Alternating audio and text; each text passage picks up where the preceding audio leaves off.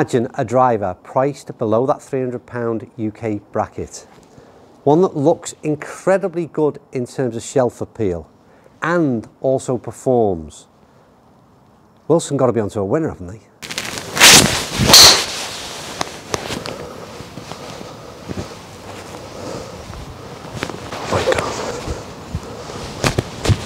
Yeah, having just got over a near fatal heart attack because that ball came so close to going through that lens you're now watching me on. Wow, that was close.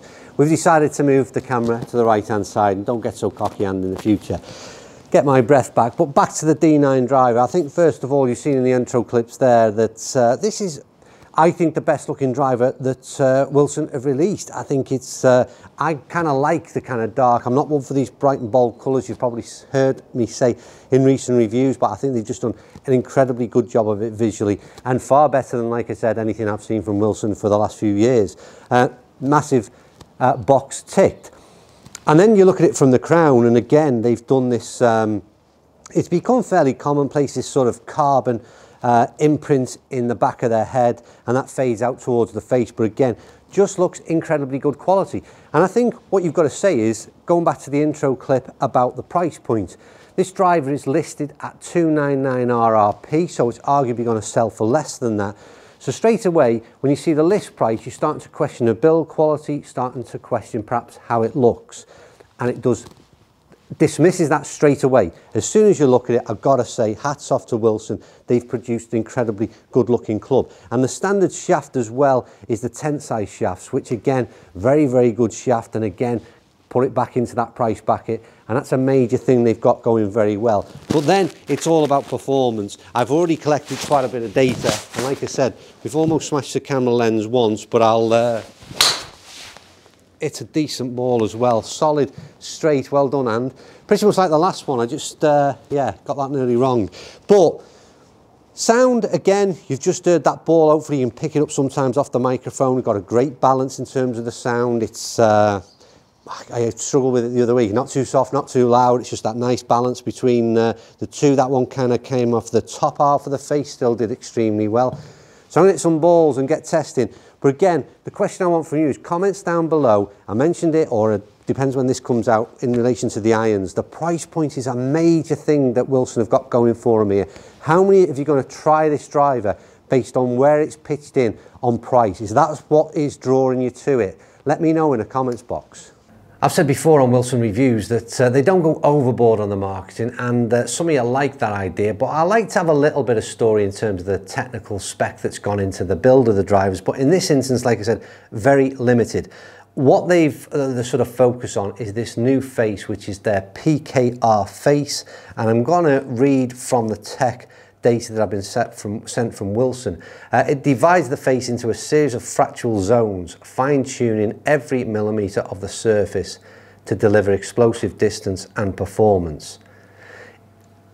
That's about as much as I've got to feedback, I'm afraid, in terms of technical spec. In terms of the head itself, there are a few things that you can do in terms of, well, one thing that you can do in terms of adjustability, and that's change around the weight that's positioned at the back. It comes as standard in a 10 gram weight, but you can switch that out to a three gram weight. So that would perhaps make it a little bit more, uh, less, uh, lower spinning rather. Then the one other thing to mention is shaft options. It is fairly limited. I did mention in the intro clip that they're doing the Tensei Blue shaft and it's available in three options. The A, which is effectively the soft flex at 50 gram, regular is also a 50 gram shaft, and the stiff is a 60 gram stiff shaft. There are no other options or variables outside of that. So there are limitations for your money. But anyway, how do we get on? Let's get hitting some golf balls and back to 4Golf.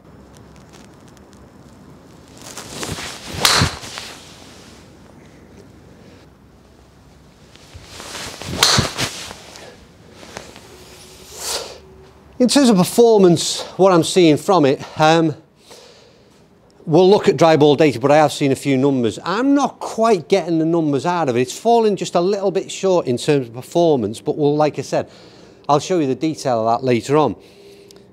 It's kind of a bit bit frustrating because, like I said, the club is sounding well, it's performing well in terms of its dispersion, but in terms of where it's getting to, perhaps just a little bit spinny in terms of where we're at, and obviously we could change things around, certainly in terms of uh, the shaft to have some impact on that. That's all I'm noticing so far from inside the driving range. Unfortunately, can't take this out on the course right now and give you some more feedback.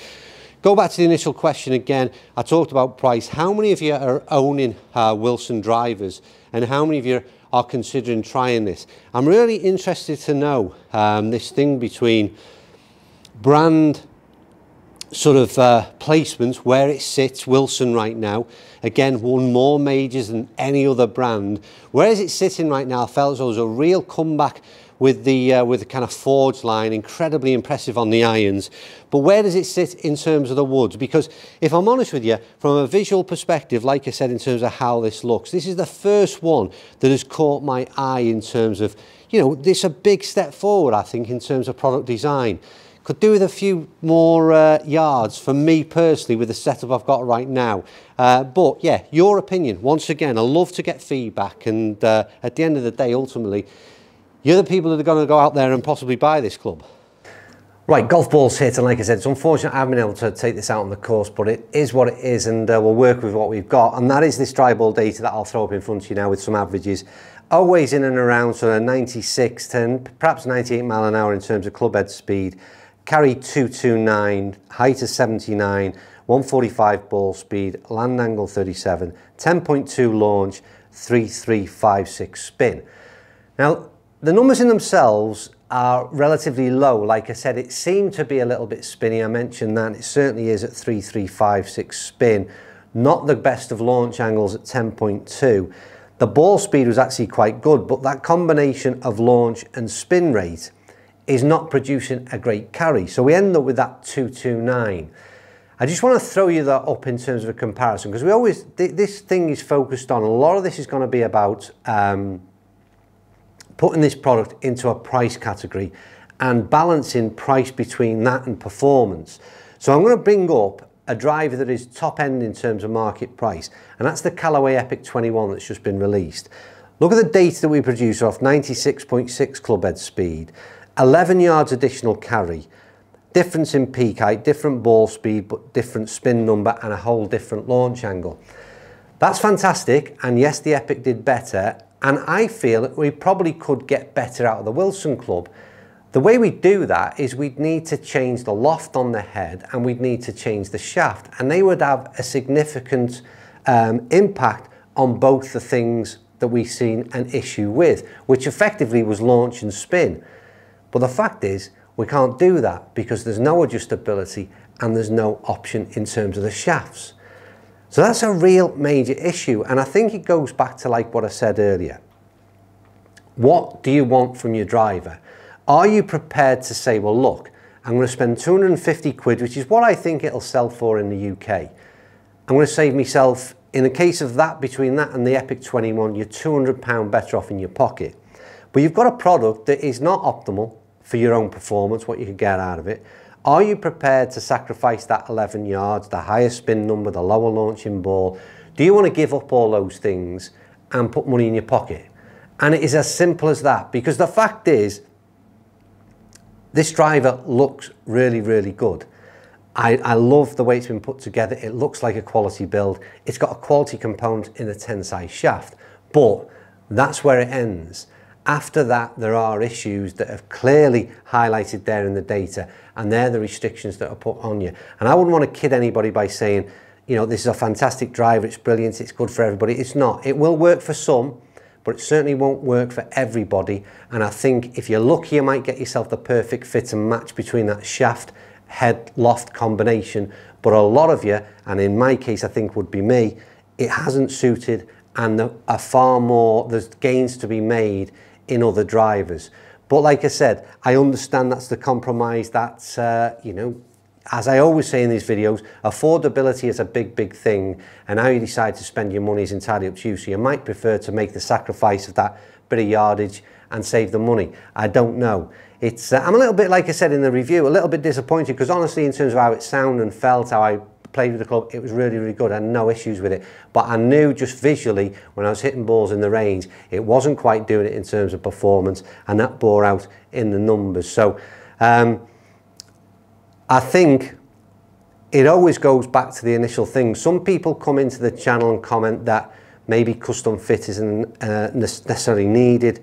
Maybe there's also a comment that all driver heads are the same.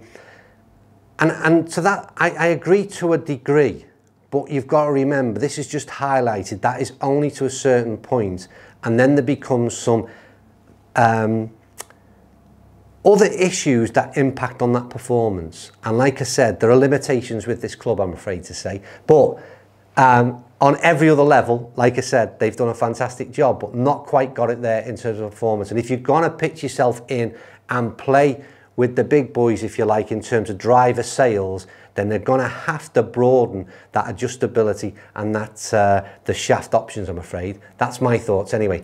Uh, but only my thoughts, and more importantly, I suppose, as ever, what are yours? Stick your comments down in the box below. Um, hit the uh, thumbs up button, I think I need to say. Subscribe if you don't already. And uh, have a good day. We'll be back. I think this is, when is this one going out? So this is going out Friday. So I'll see you Monday.